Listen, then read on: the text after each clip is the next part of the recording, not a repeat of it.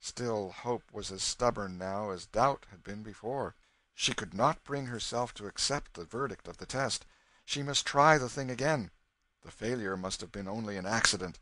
So she startled the boy out of his sleep a second and a third time, at intervals, with the same result which had marked the first test; then she dragged herself to bed and fell sorrowfully asleep, saying, "But I cannot give him up oh no, I cannot, I cannot he must be my boy!"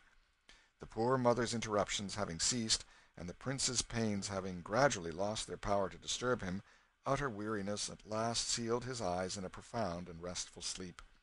Hour after hour slipped away, and still he slept like the dead. Thus four or five hours passed. Then his stupor began to lighten. Presently, while half asleep and half awake, he murmured "Sir William!" After a moment "Ho, Sir William Herbert! Hie thee hither, and list to the strangest dream that ever Sir William, dost hear? Man, I did think me changed to a pauper, and Ho, there, guards! Sir William! What!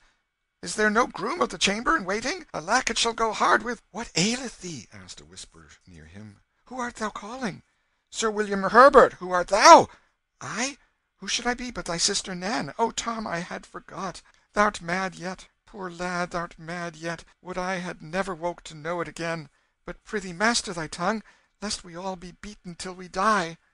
The startled Prince sprang partly up, but a sharp reminder from his stiffened bruises brought him to himself, and he sunk back among his foul straw with a groan and the ejaculation, "Alas, it was no dream, then!"